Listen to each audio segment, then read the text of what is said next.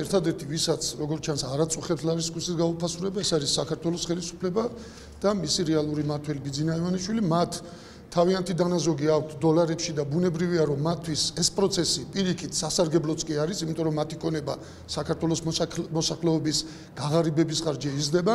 საკმარისია საქართველოს ხელისუფლების წარმომადგენლებმა თელ თავიანთი დანაზოგი დოლარების მაგივრად გადაიტანოს ლარებში და მე ვარწმუნებ ნებისმიერ მოქალაქეს რომ ლარის კურსი გამყარდება მყისიერად.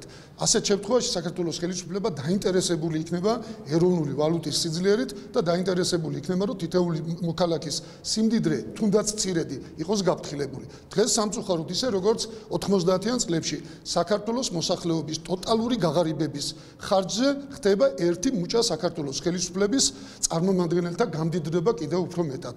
მათი დანაზოგების კიდევ უფრო მაღალ ფასებში აყვანა.